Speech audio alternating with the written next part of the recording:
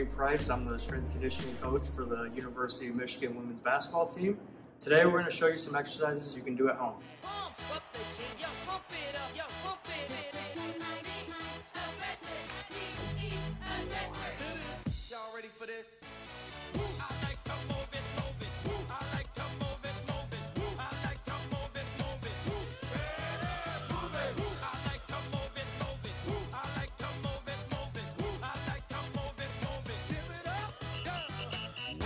To the big show.